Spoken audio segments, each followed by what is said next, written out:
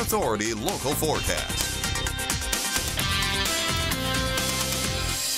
All right, we made it to the holiday season here in the desert southwest as Thanksgiving is literally right around the corner. You've probably heard me say that a bajillion times, but hey, we're excited.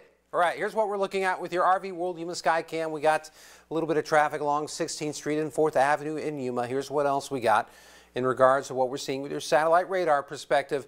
Just a few strips of cloud coverage in central to southern California, and you got to go further to the north to see any sort of inclement weather whatsoever. So nothing like that happening in the desert southwest, nor will it be anytime soon.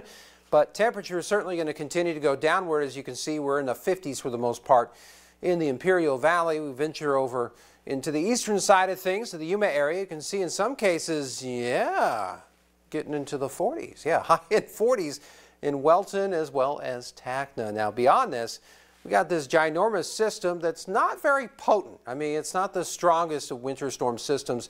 So if anything, it's going to definitely keep us in the cool. If anything, drop our temperatures down a little bit further. You can see the middle of this thing continuing to go through uh, the Grand Canyon State come tomorrow and Black Friday, and then we'll be on the back end of this system come Black Friday, and yes, we'll keep it cool. It'll be the coolest of the cool before we start to slowly rise those temperatures up. As far as Thanksgiving is concerned, here's what we're looking forward to throughout the day. Whenever it is, you're going to be munching turkey. Me, I'd prefer to be doing it at 9 a.m. I'm just a little strange that way, but nonetheless, you can see we're going to be even keel to say the least. So we are going to keep it uh, very nice for Thanksgiving and beyond. Your Yuma International Airport extended forecast gives you a glimpse of a couple of low end 70 temperatures to round out the holidays for Thanksgiving as well as Black Friday. And then we get to the rest of your holiday weekend looking real nice. And we're going to keep it that way as well. We go up a little bit Monday and Tuesday.